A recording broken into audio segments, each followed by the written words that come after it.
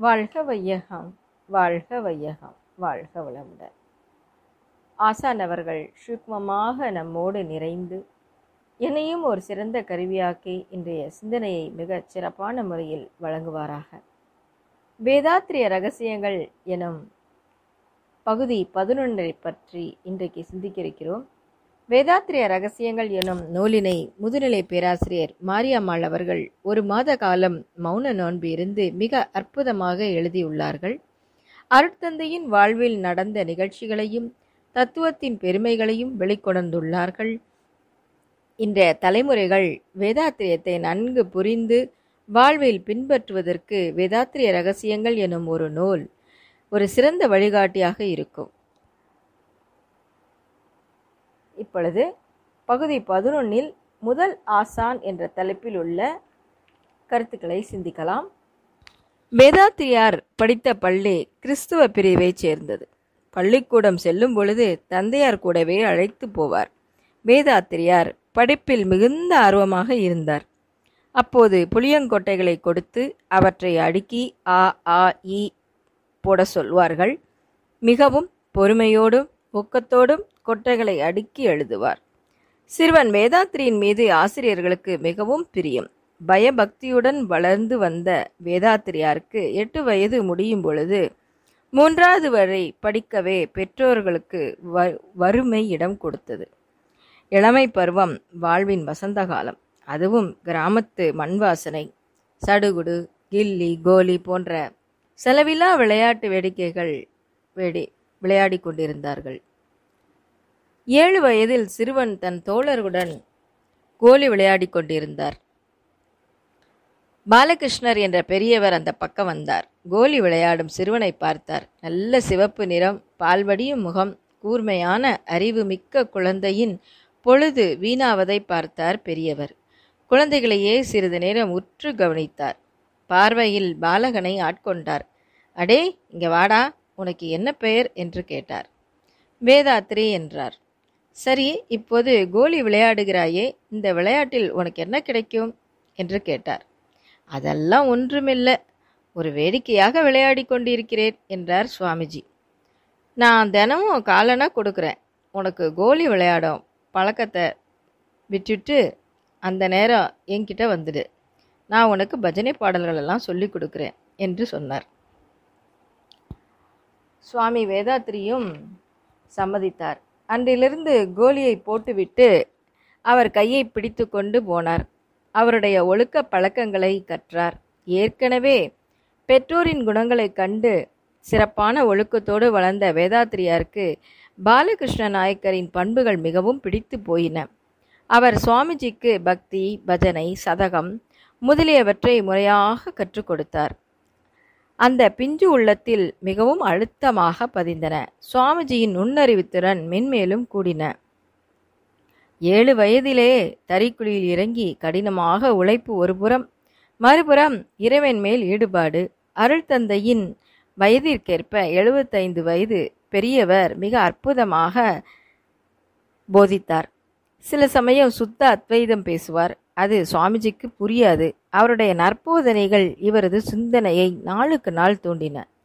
ஒழுக்கத்தோடும் அடக்கத்தோடும் பஜனைகளை ஆர்வத்தோடும் செய்தார். அவர் விளக்கும் கருத்துக்களின் அடிப்படை உண்மைகளை அறிய எப்போதும் சிந்தித்து கொண்டே இருப்பார்.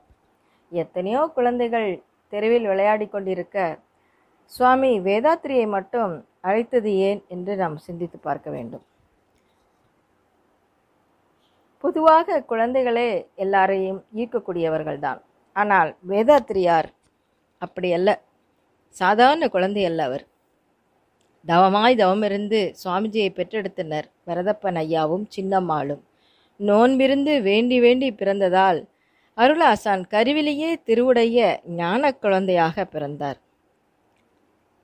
அந்த ஞான குழந்தையிலிடம் வந்த தெய்வீக அலைகள்தான் பாலகிருஷ்ணன் ஐயரை அவரை மிகவும் ஈர்த்தது. சாதாரண குழந்தைகள் என்றால் இவ்வளவு ஆர்வமாக இருக்க மாட்டார்கள். வேதாத்திரியார் கருவிலேயே திருவுடைய ஞான குழந்தை ஆயிற்றே. அதனால்தான் பாலகிருஷ்ணர் கூப்பிட்டவுடன் பஜனை பாடல்களை கற்றுக்கொள்வதற்கு மிகுந்த ஆர்வம் காட்டினார்.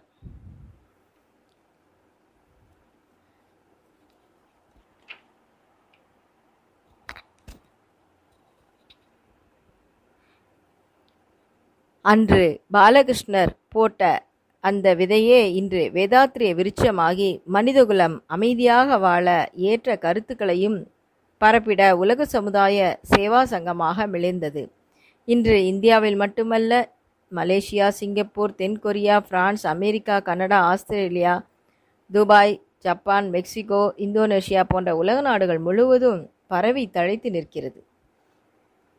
பாலகிருஷ்ணர் அவரது ஊக்கத்தால் நாளுக்கு நாள் சிந்தனை உயர்ந்து கொண்டே போனார். பன்னெண்டு வயதாகும்போது சுவாமிஜிக்கு சில வினாக்கள் எழுந்தன. இன்ப துன்ப உணர்ச்சிகள் யாவை? இவற்றின் மூலமும் முடிவும் என்ன? நான் யார்? உயிர் என்பது என்ன? உயிர் உடலில் எவ்வாறு இயங்குகின்றது? நோயும் முதுமையும் ஏன் உண்டாகின்றன? எப்படி உண்டாகின்றன? கடவுள் யார்? பிரபஞ்சத்தை ஏன் அவர் படைத்தார்? ஏழ்மை ஏன்? எப்படி உண்டாயிற்று? அதை போக்குவது எப்படி? இந்த வினாக்கள் சுவாமிஜியோட சிந்தனையை பெரும்பாலும் ஆட்கொண்டன. அப்போது கிடைத்த குருதான் பாலகிருஷ்ணர். இந்த வினாக்களை ஒட்டிய சில விஷயங்கள் அவர் அறிவுக்கு புலப்பட்டன.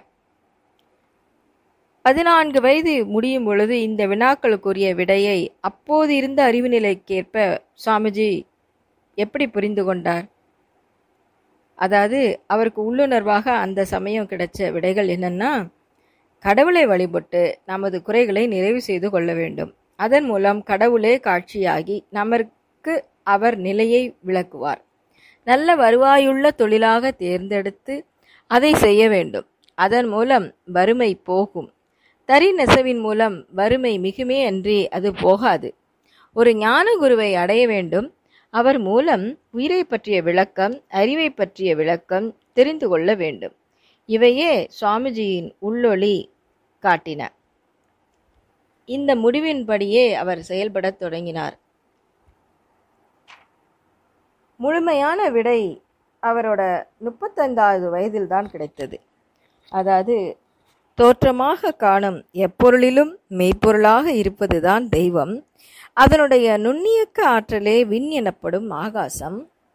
ஆகாசத்தின் திரட்சி நிலை வேறுபாடுகள்தான். காற்று நெருப்பு நீர் நிலம் என்ற நான்கு பூதங்களும் உடல் கொண்ட உயிரினங்கள் அனைத்திலும் ஆகாசம் எனும் நுண்ணியக்கமே உணர்ச்சி ஆற்றல் பெற்று உயிராக இருக்கிறது. உயிரே தனது புலன்கள் மூலம் அது மேலும் சிறப்படைந்த நிலையில் அறிவுமாகி இயங்குகிறது. மனிதன் இயற்கை வளத்தை தனது உழைப்பையும் அறிவுத்திறனையும் கொண்டு உருமாற்றி துய்த்து வாழ பழகிக்கொண்டான் இயற்கை ஒழுங்கமைப்பையும் உழைப்பின் பெருமையையும் உணராதோர் கடமை பிறழ்வதே வறுமையாக மலர்கின்றது. தெய்வநிலை உயிர்நிலை அறிவு உழைப்பு இரண்டின் மதிப்பை இவற்றை உணர்ந்து மனிதன் வாழ்ந்தால் மகிழ்ச்சியோடும் அமைதியோடும் எப்போதும் வாழலாம். சிலர் உணர்ந்து கடமை செய்வதும் பலர் உணராமல் கடமை பிறழ்ந்தும் வாழ்வதே உலகிலுள்ள வறுமைக்கும் துன்பங்களுக்கும் அனைத்துக்குமான காரணம். எல்லாம் வல்ல மெய்ப்பொருளே உயிராகவும் அறிவாகவும் மலர்ந்து இருப்பினும் புலன்கள் மயக்கத்தில் தனது ஆற்றலை கட்டுப்படுத்தி கொண்டு மயக்க நிலையில் செயல்கள் ஆற்றி பழிச்செயல்கள் பெருகின் பெருகுகின்றன. சிந்திக்கும் ஆற்றலுள்ள மக்கள் எல்லோரும் இந்த உண்மையை உணர்ந்து கொண்டால் அனைவரும் தான் குடும்பம் சுற்றம் ஊர் உலகம் எனும் ஐவகை கடமைகளையும் முறையாக ஆற்றினால் தனித ம தனிமனித வாழ்வும் சமுதாய வாழ்வும் இன்பமயமாகவே இருக்கும். மனித சமுதாயம் என்ற பேரவையில் மறுக்க முடியாத தொடர்பு கொண்டுள்ள ஒவ்வொரு தனி மனிதனும் எல்லோருக்கும் ஒத்தும் உதவியும் வாழ வேண்டும். இன்று ஒருவரால் மற்றவருக்கு உரிமை கேடும் துன்பமுமே விளையும். மயக்க நிலையில் உள்ளவர்களும் மற்றவர்களோடு தங்களுக்கோ பிறருக்கோ அறிவிற்கோ உடல் உணர்ச்சிக்கோ தீங்கின்றி மக்கள் அனைவரும் கூட்டுறவு பூண்டு வாழ வேண்டும். அப்போதுதான் மனிதகுல வாழ்வில் அமைதி நிலவும். குழந்தை பருவத்திலிருந்தே நாம் குழந்தைகளை பக்தி வழியில் பழக்க வேண்டும். இன்றைய மனவள கலைஞர்கள் இன்றைய குழந்தைகளுக்கு தக்கவாறு அவர்களது அறிவு நிலைக்கு தக்கவாறு வேதாத்திரியத்தை போதிக்க வேண்டும். உலகத்தை காலையில் எழுந்தவுடன் பத்து வரை வாழ்த்து சொல்லிக் கொடுக்க வேண்டும்.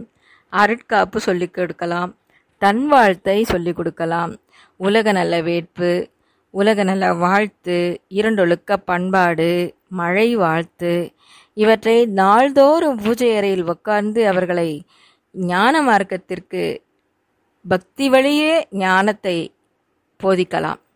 இப்படி சொல்லும் பொழுது நாளடைவில் அவர்களோட அறிவுத்திறன் மிகவும் மேன்மை அடையும் சித்திரமும் கைப்பழக்கம் செந்தமிழும் நாப்பழக்கம் என்று சொல்வார்கள் பெரியவர்கள்.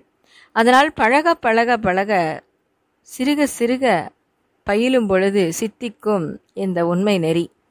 ஆசான் ஏழு வயதிலேயே அந்த தறிக்குழியில் இறங்கி அந்த நெசவு செய்யும்போது உற்று உற்று கூர்ந்து கூர்ந்து கவனிக்கும் பொழுது ஆட்டோமேட்டிக்காக அந்த ஆகின சக்கரம் துரிய சக்கரம் எல்லாம் நல்ல இளமை காலத்திலேயே நல்லா ஆக்டிவேட் ஆகிருக்கும் அதனால தான் அவருக்கு ஓர்மை நிலை சித்திப்பது ரொம்ப எளிதாக இருந்தது. ஓர்மை கூர்மை சீர்மை நேர்மை என்ற நான்கு தன்மைகளும் இளமை காலத்திலேயே குழந்தை பருவத்திலேயே ஒவ்வொரு மனிதனுக்கும் கிடைக்க வேண்டும். எப்பொழுதும் இறை நீதியை சொல்லிக் கொடுத்து ஒவ்வொரு செயலுக்கும் விளைவு இப்படித்தான் வரும் என்பதை அவர்களுக்கு சிறுக சிறுக அவர்களோட அறிவு நிலைக்கு ஏற்ற வண்ணம் பெற்றோர்களாகிய நாம் கட் கட்டாயம் கற்றுக் கொடுக்க வேண்டும். அடிக்கடி வாழ்க்கை விளக்கம் புத்தகங்களை ஆராய்ந்து படித்து நம் குழந்தைகளுக்கோட அறிவு நிலைக்கேற்ப அவர்களுக்கு சிறு கதையாக சொல்லலாம். தாய் தந்தையர்தான் ஆசானோட இந்த இவ்வளவு உயர்ந்த ஒரு நிலைக்கு காரணம். அவங்க செய்த ஒரு நல்விளை பதிவுனால தான் நமக்கு அருள் தந்தை கிடைச்சிருக்காங்க. அதனால் அருள் தந்தையோட இந்த வாழ்க்கை விளக்கம் இந்த நூல் நமக்கெல்லாம் ஒரு பெரிய பாடம்னு நான் நினைக்கிறேன். இந்த வாய்ப்பை வழங்கிய ஜூம் குழுவினர் அனைவருக்கும் மிகவும் நன்றி. இவ்வளவு நேரம் பொறுமையோடு கேட்டுக்கொண்டிருந்த அன்பர்கள் அனைவரையும் வாழ்க வளமுடன் என்று வாழ்த்தி விடைபெறுகிறேன். நன்றி. வாழ்க வளமுடன்.